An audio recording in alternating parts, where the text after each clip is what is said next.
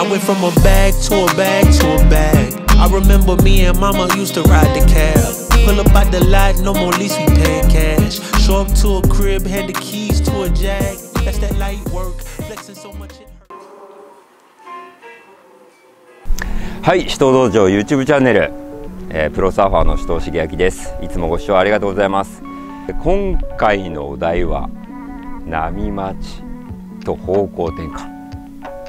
これがすごい重要。で、前回前々回とまあ沖に出るテクニック、まあカレントを使いましょう。あとはドルフィンスルー、ローリングスルー等のテクニックを解説したわけなんですけど。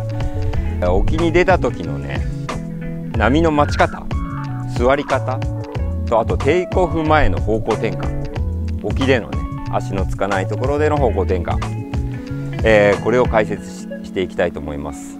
あとテイクオフするのに波が来ます。まあ方向転換で岸を向けなきゃいけないんですけどその方向転換のやり方ね。でこれらをスムーズにこなせると、えーテイクオフのメイク率も上がります、えーぜひ参考にしてみてください。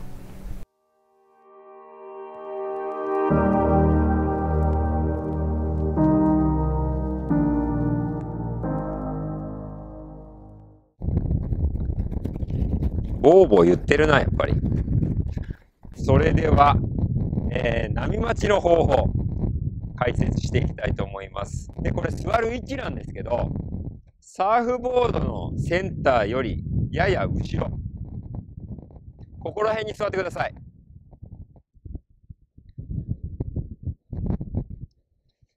やや後ろに座ると、サーフボードの角度、こうノーズが上がる感じになります。で、こういう角度で波待ちをします。で、センターに座っちゃうと、これサーフボードがね、えー、水平になっちゃう。水面に対して。それだと安定しないので、やや後ろ。で、ノーズが上がった状態ね。この状態で座ります。そして両手でレールを軽く掴むと安定します。サーフボードの上に座って、えーバランスを取るわけですけど、バランスを取るポイントとしては、まあ、お尻、まあ、尾てい骨らへん？と、ももの裏、両ももの裏ですね。この3点で座ってバランスを取ります。手はレールに添えてる程度。これでバランスを取ってください。こういう体勢。で、沖で波待ちをしていると、まあ当然うねりも来ます。横波も来ます。その時に、手が力んで、サーフボードと一体化してしまうと、横波食らった時にね、こうやって体ごと持っていかれちゃいます。えー体はリラックスして、えーさっき言ったお尻、ももの裏3点でしっかりバランスを取るようにしましょう。そしてあともう1点コツとしては目線。目線はできるだけ遠くを見ましょう。こう真下を。真下見てバランス崩さないように、えー顔を上げて目線を遠くへ。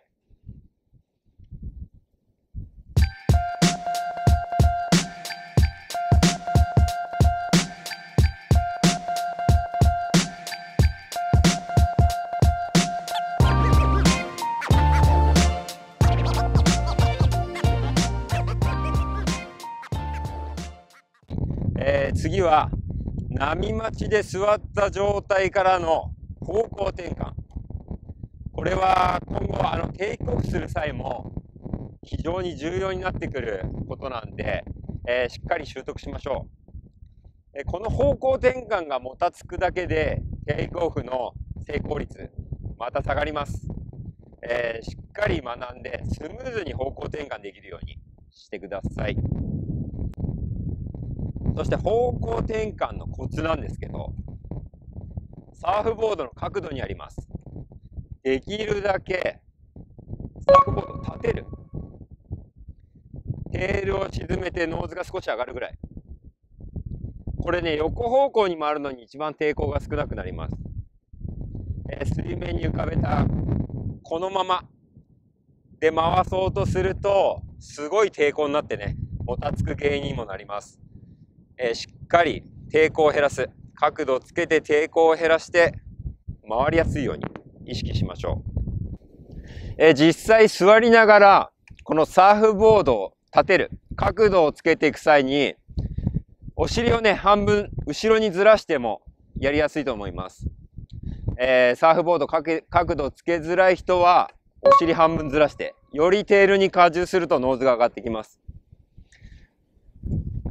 これで回していきましょう。で、回す動作ですけど、例えば、このポジションから右に回りたい、時計回り、右に回りたいっていう時は、回りたい方向のレール、掴んでこっちは引っ張ります。で、もう一個の手ね、逆側の手で回りたい方向へ水をかいていきましょう。で、そして足の動作。足の動作ですけど、これ難しいね。足の動作ですけど、回りたい方向へ水をかきます。膝から下、回すようにして水をかいていきます。これは両足やります。で、逆に回りたいときは、膝から下の両足は逆方向。で、レールを掴む手は左手で、回りたい方向に引っ張ると。で、空いてる手でさらに書く。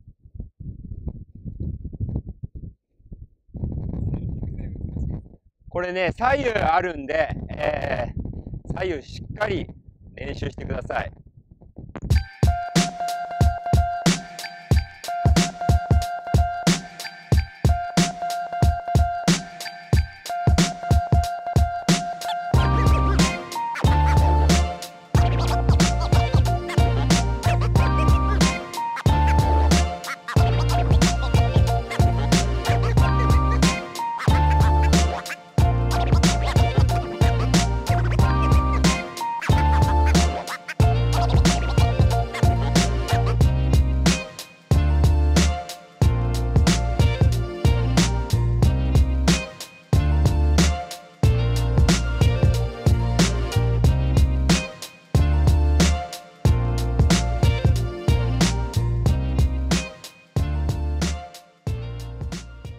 はいということで今回は、えー、沖での波待ち座り方あと方向転換ですねを解説したわけですけど、えー、まあ沖に出て座って波待てるようになったなんかサーファーになったなとかやっぱこうねインサイド足のつくところでやってた感覚とは全く別物になってきますよね。今回のね動画のまとめとしてはまず波待ちね。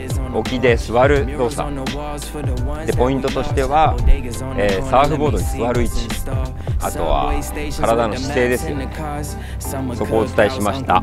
であともう一つ方向転換。これもまたあのサーフィンで波に乗る前の準備段階として非常に大切な動作になってきます、えー、ここができるかどうかでねテイクオフのメイク率もねぐっと変わってくるんでぜひ実践してみてください、えー、次のね、How to 動画はいよいようねりからのテイクオフ。ということで、えー、まあまあ徐々にね、えー、難易度の高い難しい課題になってくるんですけどあの最初にお伝えしてた動画からねしっかり学んでもらえればね、えー、できると思います。いかにね基礎ベースとなる部分をしっかり積み上げていくかが上達につながります、えー、ぜひ実践してみてください。では沖で座っていってらっしゃい。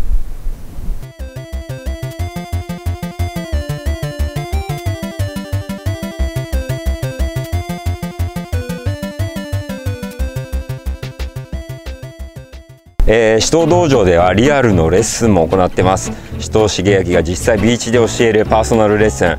こちらも好評です、えー、初心者から初めての方から中級者上級者コンテストに勝ちたい、えー、認定テスト合格したい。またはオルタナボードニットレングスやフィッシュ乗りこなしたい方。さまざまなねあのカテゴリーで指導できます、えー、上達が伸び悩んでる方頭打ちしてる方ぜひご相談ください、えー、完全パーソナルのレッスンです。お待ちしてます。あとこちら。初めてのサーフィン、えー、自分が出版しました、えー、角川から出版されてます、えー、こちらもね、え YouTube でお伝えしているようなこと、え詳しく解説されてます、えこちらも復習がてらに、え YouTube と合わせて読んでみてください。よろしくお願いします。